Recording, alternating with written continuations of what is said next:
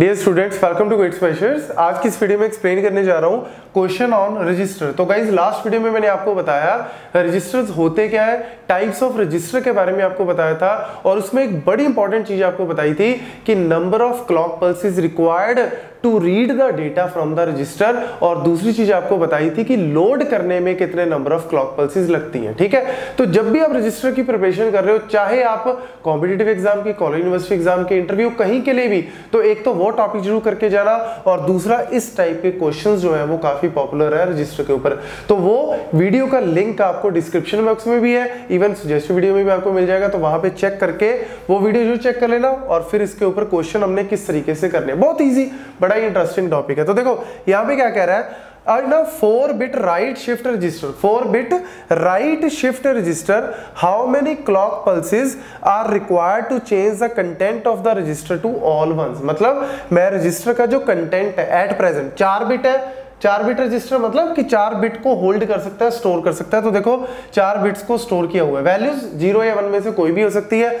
तो इस तरीके से स्टोर करके बैठा है। मैं चाहता हूँ कि इन सारी वैल्यूज़ में क्या आ जाए वन वन वन वन आ जाए। लेकिन वो कब आएगा, कितनी क्लॉक के बाद आएगा, वो हमें फाइंड आउट करना है। और यहाँ पे एक्स्ट्रा थोड़ा सा इसको कॉम्प्लेक्स करने के लिए, थोड़ा सा बढ़िया इसको क्वेश्चन को बनाने के लिए ऊपर जो है वो एक्सॉर गेट लगा दिया है। तो देखो, यहाँ पे बस सिंपल सा सर्किट है। एक्सॉर गेट हमें पता ही है कि एक्सॉर गेट कैसे वर्क करता है? अगर मेरे पास value zero one one zero one one zero zero zero one one zero one one तो ये इस तरीके से आउटपुट देता है। मतलब जब वैल्यूज़ जो है वो अलग अलग होती है, तब वन और सेम वैल्यू पे क्या देता है? ज़ीरो देता है। बस इसको स्टार्ट करते हैं। तो देखो, यहाँ पे हो क्या रहा है? यहाँ पे वैल्यूज़ राइट शिफ्ट है पहले तो। आपको पता लग गया ना ये राइट शिफ्ट इस तरीके से एरो है।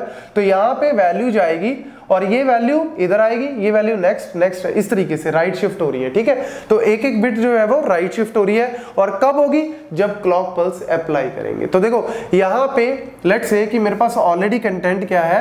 ज़ीरो वन वन ज़ीरो ठीक है? ऑलरेडी दिया हुआ है। अब देखो, अभी कोई क्लॉक पल्स नहीं लगाई, अभी as it is normal circuit है। तो देखो वन ज़ीरो ये तो गेट तो ऑलरेडी नॉर्मल काम कर ही रहा है। तो वन ज़ीरो यहाँ पे गई, ये आउटपुट क्या देगा? वन देगा, ठीक है? मतलब इसके गेट पे जो रजिस्टर है, उसके गेट पे वन ऑलरेडी नॉक कर रहा है। लेकिन वो अंदर नहीं जा सकता। अंदर क्यों नहीं जा सकता? क्योंकि क्लॉक पल्स जब आएगी तभी वो गेट ओपन होगा। तो अभी जो है सर्किट ने वन जो है, वो इवेल्युएट करके इसके गेट पे लाके खड़ा कर दिया है। लेकिन अभी होगा कुछ नहीं। जैसे ही मैं क्लॉक पल्स वन अप्लाई करूँगा, जैसी क्लॉक पल्स वन लगाई, ये वन जो है वो यहाँ पे आ गया ठीक है ये ज़ीरो यहाँ पे आ गई ये वन यहाँ पे और ये वन यहाँ बस वही चीज़ हमें यहाँ पे करनी है मतलब वन ज़ीरो का मेरा जो था वो एग्जॉर क्या देगा वन देगा तो वो ऐसे वैल्यूएट कर लो ये ज़ीरो यहाँ पे आ गई ये वन यहाँ पे आ गया और ये वन यहाँ पे आ गया बस ये सिंपल सी बात अब देखो एक तरह से अब क्या है वन वन है यहाँ पे क्या आ चुका है वन वन ये देखो ये वैल्यूज़ एज इट इज़ ऐसी लिखी हुई है तो ये वन वन जो है वो एक तरह से यहाँ पे आ चुका है तो वन वन यहाँ पे गया वैल्यू क्या आएगी ज़ीरो मतलब ज़ीरो जो है गेट पे नॉक कर रही है। रजिस्टर के गेट पे नॉक कर रही है कि क्या मैं अंदर आऊँ? नहीं, अभी नहीं आ सकता, क्योंकि क्लॉक जब लगेगी तभी एक्टिव होगा। तो जैसे ही क्लॉक लगाओगे, ये ज़ीरो जो है वो क्या चलेगी अंदर? मतलब इस वन वन का ज़ीरो जो है, एक तरह से आप ऐसे कैलकुलेट कर सकते हो, ये ज़ीरो यहाँ पे आ गई, ये वन यहाँ पे आ गया, ये ज़ीरो यहाँ पे आ गई, ये वन यहाँ पे आ गया। ठीक है? अब आपको बार बार सर्किट देखने की ज़रूरत नहीं। अब आप डायरेक्ट इस पे करो, क्योंकि फालतू में टाइम वेस्ट होगा और आपको कंफ्यूजन भी हो सकती है बार बार अगर आप इसी के ऊपर करोगे। तो सिंपल हमें पता है कि ये ज़ीरो और वन वन ही वहाँ पे जाता है। तो ये लास्ट वाली दो वैल्यूज़ के ज़ीरो और वन क्या मतलब? वन गया, ये आपकी ज़ीरो यहाँ गई, ये वन यहाँ गया और ये ज़ीरो यहाँ गया, ठीक है? फिर लास्ट की दो वैल्यूज़ क्या है? वन और ज़ीरो ये यहाँ गया तो ये वन यहाँ पे आ गया, ये वाला वन यहाँ आ गया, ये ज़ीरो यहाँ पे आ गई और ये वन यहाँ पे आ गया। ठीक है, उसके बाद क्या हुआ होगा? ये ज़ीरो वन, ये वन मेरा यहाँ पे आ गया, ये वन मेरा यहाँ पे आ गया, ये वन यहाँ पे आ गया और ये ज़ीरो यहाँ पे आ गई। फिर उसके बाद क्या हुआ होगा? वन ज़ीरो का एक्सॉर ने क्या दिया? वन दिया जैसी क्लॉक लगाई, वो वन अंदर चला गया। ये वन यहाँ शिफ्ट हो गया, ये वन यहाँ शिफ्ट हो गया और ये वन यहाँ शिफ्ट हो गया। लो जी आउटपुट देख लो क्या आ रही है? One one one one. तो यही हम चाहते थे कि मेरा कंटेंट ऑफ़ द रजिस्टर क्या आ जाए? वन वन वन वन लेकिन कितनी क्लॉक के बाद आया? वो काउंट कर लो।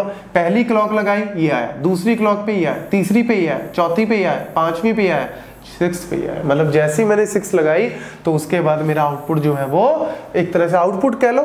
या फिर आप सिंपल बोल रहे हो कि कंटेंट ऑफ़ द रजिस्टर ठीक है? वो क्या है? One one one one so this is how you have to solve the questions related to the shift register thank you